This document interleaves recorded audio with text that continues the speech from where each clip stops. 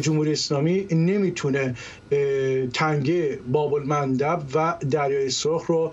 مسدود بکنه چون این دیگه مسئله نیستش که بخواد آمریکا در این باره مساهمه نشون بده و یک نوع مماشاتی رو انجام بده چون بحث بحث امنیت دریایی در آبراهای بین المللی هست. برداشتی که جمهوری اسلامی به نظر من اشتباهی که داره اینه که فکر می‌کنه که چون اتفاقی در 23 مارچ 2023 رخ داد در دریای سرخ در تنگه باب المندب که یک کشتی به نام کشتی گرین نرف بود که اونجا اونجا مسدود کرد اون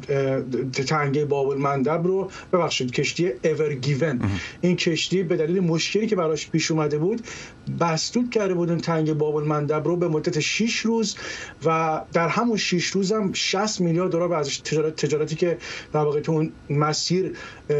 انجام می‌شد به 60 میلیارد دلار آسیب تجاری دید در واقع این محموله ها ولی فکر می‌کنه جمهوری اسلامی که مشابه این اقدام را اگر انجام بده می‌تونه که در این بازی دست بالا رو داشته باشه؟ ولی به نظر من آمریکا در این باره به جمهوری اسلامی به نظر من